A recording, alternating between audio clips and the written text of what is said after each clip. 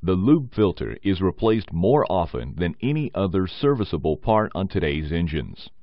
To ensure normal oil filter service life and prevent oil leakage or possible internal engine damage, it is important that correct installation procedures are followed. Most Baldwin spin-on filters include pictograms on the filters themselves, showing the proper installation procedures. When installing a spin-on filter, first unscrew and remove the old filter, making sure the old gasket is also removed. The use of a filter wrench may be required. Wipe the filter mounting base with a clean cloth to remove any contaminants. Remove the protective shrink wrap from the new filter. Check that all required gaskets are included and inspect the filter for dents. A dented filter, no matter how small the dent, should not be used.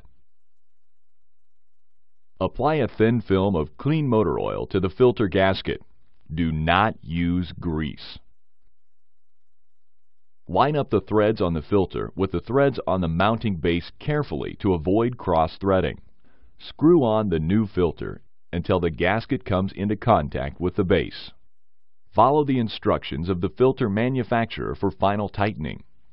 The pictogram on the filter will tell how many additional turns from gasket contact the filter requires. A filter strap wrench may be needed to ensure proper torque. Place the wrench near the base plate of the filter to avoid damaging the filter during installation.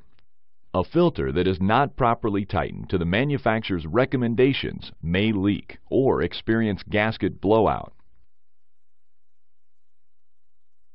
Make sure the engine oil level is full. Start the engine and check for leaks. Shut the engine off and recheck the oil level, adding oil if necessary. Again, inspect the filter for dents. A dent creates a concentrated area of stress, causing fatigue, which can shorten the life of a filter. Filters that are dented prior to or during installation should not be used. There are many types of systems, new and old, using cartridge filters on the market today. When installing a cartridge filter, some common instructions can be followed. Clean the outside of the housing before removing the filter to keep contaminants out of the lube system. Unscrew the housing cover retainer nut from the filter head to open the housing. Remove the filter and all old gaskets. Wipe the inside of the filter housing with a clean cloth to remove contaminants. Check the new filter to make sure that all required gaskets and seals are included. Also, inspect the filter for damage. Damaged filters should not be used. Reinstall the filter and all necessary gaskets. After replacing the housing cover retainer nut, make sure the engine oil level is full. Then start the engine and check for leaks. Shut the engine off and recheck the oil level, adding oil if necessary. Remember, when disposing of used oil filters, follow all EPA regulations in your area.